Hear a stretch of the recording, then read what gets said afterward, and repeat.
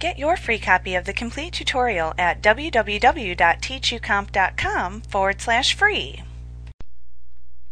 To print the document that you have opened in WordPad, click the Print button on the toolbar, or go to File and come to Print.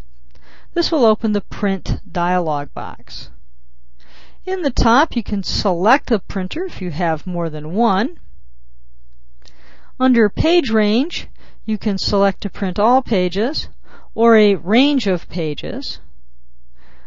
You can select the number of copies you want to print. And if your document has more than one page, you can set it to collate those pages for each of those copies.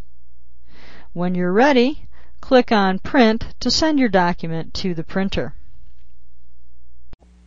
Like what you see? Pick up your free copy of the complete tutorial at www.teachucomp.com forward slash free.